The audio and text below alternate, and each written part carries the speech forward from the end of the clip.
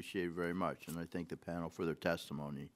Uh, Mr. Bagdoyan, uh, under federal law, an individual who has access to affordable minimal essential coverage through their employer is not eligible for the subsidy on the exchange.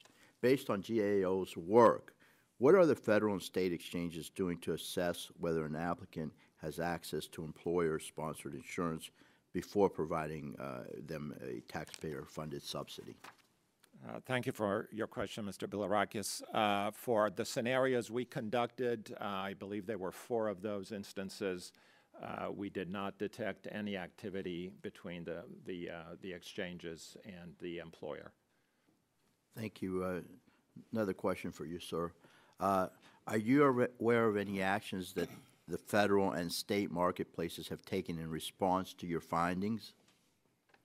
Uh, The federal marketplace uh, has, has not, to our knowledge. As I mentioned, we detected no changes in the uh, control environment between 2014 and 2015.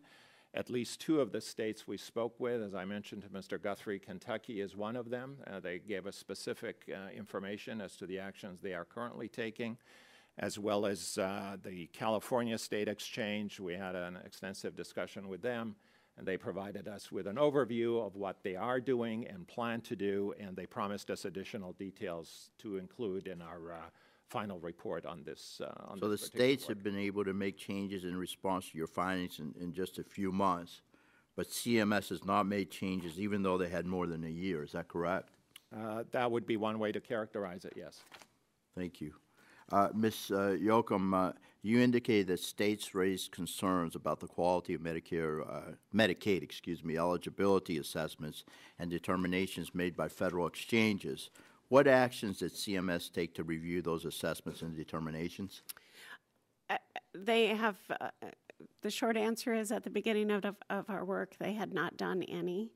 Uh, they did, in response to our recommendations, say that they were going to begin conducting reviews of the facilitated exchange ability to determine Medicaid eligibility, and they've conducted reviews in two states so far. What types of errors were identified and what were the causes of those errors?